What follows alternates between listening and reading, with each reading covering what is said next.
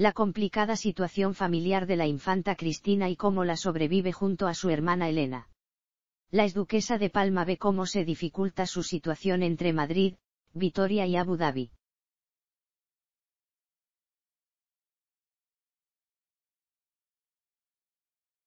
Quizás no sea un tema inesperado, pero siempre resulta sorprendente poder ver a la infanta Cristina en compañía de sus hijos en suelo patrio.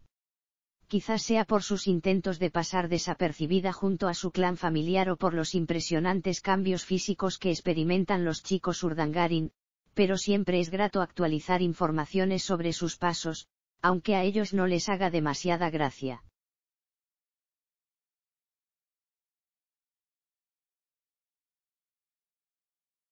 Particularmente por estas fechas, tanto la exduquesa de Palma como su descendencia buscan el arropo familiar y es la familia de Iñaki Urdangarin la que acude al rescate, así que estas fechas especiales, por lo general, transcurren entre Madrid y Vitoria, pero de un año para acá, otro punto de destino queda añadido como paso obligatorio, y no podría ser otro que Abu Dhabi.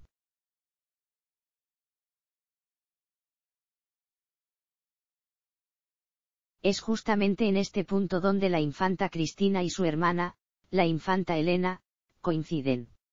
La madre de Victoria Federica y Froilán hace vida en Madrid, donde ejerce como directora de proyectos de Mafre, y ha logrado compaginar su vida familiar con la laboral de tal forma que logra visitar a su padre en los Emiratos con cierta frecuencia.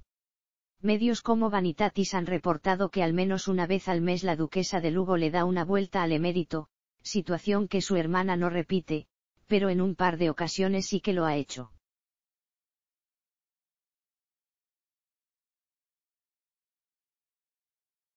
Pero, este año parece que el emérito no está incluido en los planes de Nochevieja y Año Nuevo según explica el referido medio, pues la infanta Cristina y su hermana mayor podrían unirse para pasar las fechas juntas en Vitoria, tomando en cuenta que la infanta Elena posiblemente no cuente con la compañía de sus hijos, quienes se han independizado y preferirán pasar las fiestas junto a sus amigos.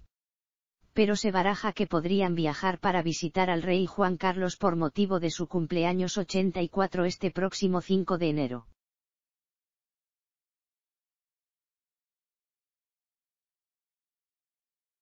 Sin embargo, esta situación esperada podría complicarse, recordemos que el padre de la infanta Elena y la infanta Cristina se encuentra en aislamiento preventivo por haber mantenido contacto estrecho con el tenista Rafael Nadal quien recientemente dio positivo por COVID-19.